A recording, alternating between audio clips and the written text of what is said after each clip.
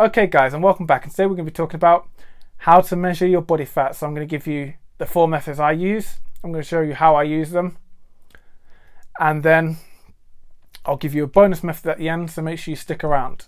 So first things first, let's get into what you're going to need. And you're going to need a pen and paper, a tape measure, a skin fold caliper, and a working knowledge of your actual height or a tape measure or a measuring tape to measure it. So the first method we're going to talk about is the Kinobody method. I'm going to throw up the charts as I speak so you can compare yourself to it as you learn what you need to do for it. So what you're going to do is you're going to take your height.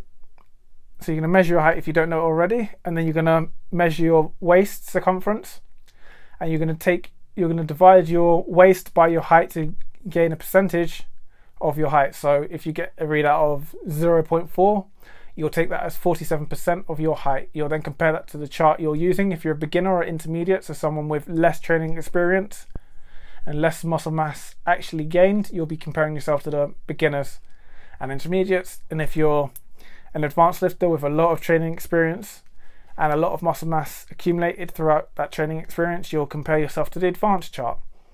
With the advanced chart, you'll be allowed a little bit more in terms of waist width, but that's just due to your increased training age and your increased muscle mass development.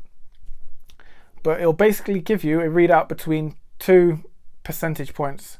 So it'll either be 8 to 10%, 12 to 14, or over 15%, which will be the problem with this method is once you get past that point, there's nothing to compare it to. So we'll jump into number two, which will give you a more accurate readout. So the second method we're going to go over is the US Navy method. So you're going to need to know your height, your waist, your neck circumference at its narrowest point, and your overall body weight. So what you're going to do, you're going to plug this into the online calculator I'll link down below. It will then give you a readout to a whole one whole number. So if you're 12 and a half with say another measure, it will give you a readout of either 12% or 13%.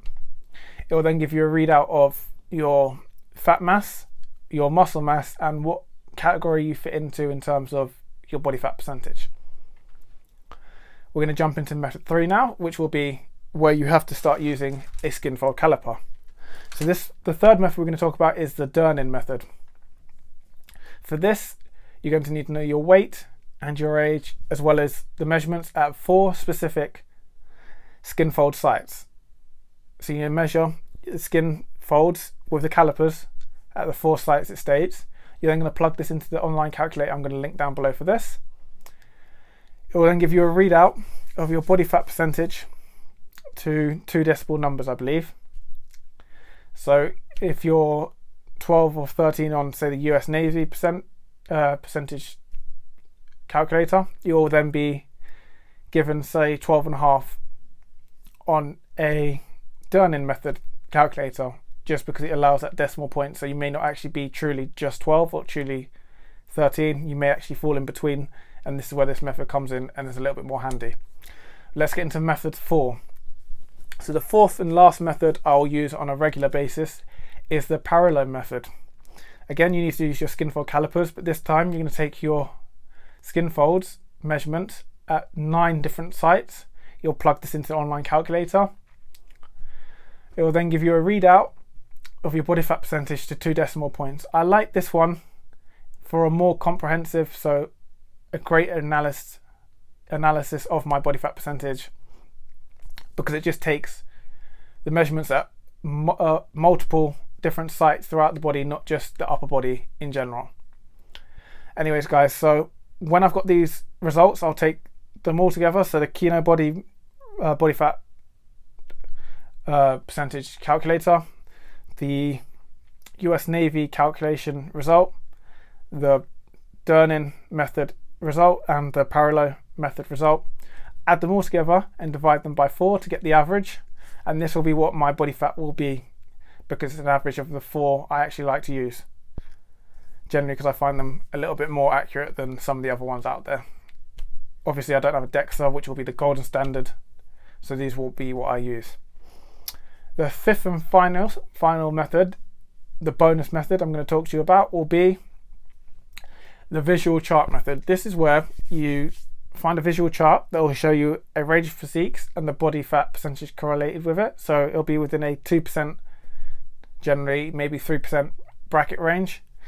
And you'll then just do what I do, which will be look at the chart, look at your physique, compare it, and then look back at the chart if you need to, to compare it further. And then it'll give you an idea of where your body fat percentage is. I only use this whilst cutting because once you get past 13% in that 13 to 17% range, it's a little bit harder to tell how much fat you're truly putting on because it's a lot harder to see where it's going.